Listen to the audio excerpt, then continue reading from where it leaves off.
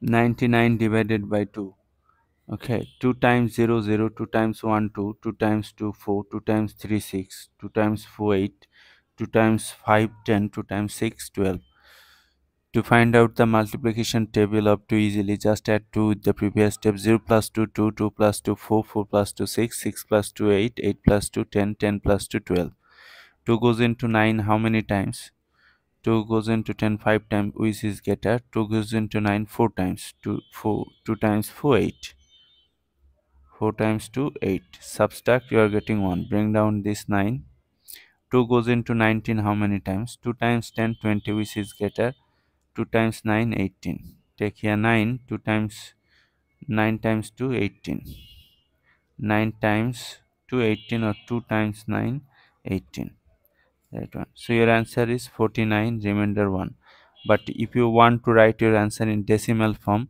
just take here a decimal then you are allowed to take any number of zeros. Bring down the first zero. 2 goes into 10 how many times? Here look.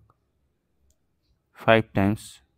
But before this zero there is a decimal. Decimal must come to the quotient directly. Write 5 5 times 2 10 if you subtract you are getting 0 right so 49.5 is your answer